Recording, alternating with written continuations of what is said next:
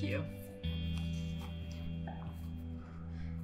Okay, so $8 is the median net worth of black households versus $247,500 for white families in Boston.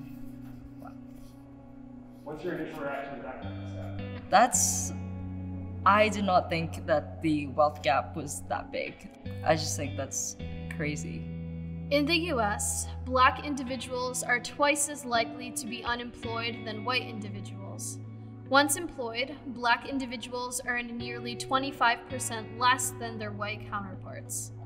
I'm not very surprised at this statistic because all over, especially in the community that I'm from, this is a very huge issue that my town suffers, especially from Hispanic and Black individuals who seek employment and um, are no longer able to get employment or it's very limited.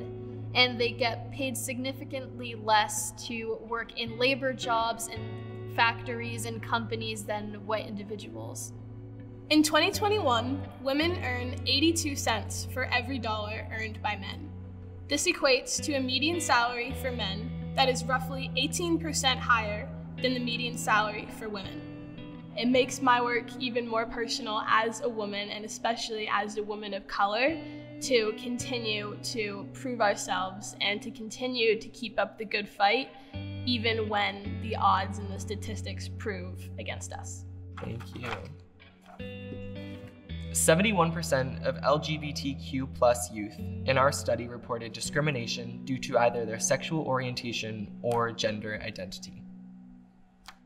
That's, I mean, reading that, it just is certainly alarming to understand that so many, so many young people are feeling in anguish and unsafe by just trying to be themselves and find themselves, especially during such a pivotal time when they're trying to establish who they are in the world in order to sort of um, combat these social issues, we need to hear from the people that sort of experience these issues. With the Playbook Initiative, I've learned to listen with respect and also to make sure to listen to everybody's voices and make sure that every single voice is being heard. What's really important is diversity and becoming a global citizen and understanding the value of community. When you're not able to be exposed to people who think differently than you and look differently than you, you have a harder time valuing community.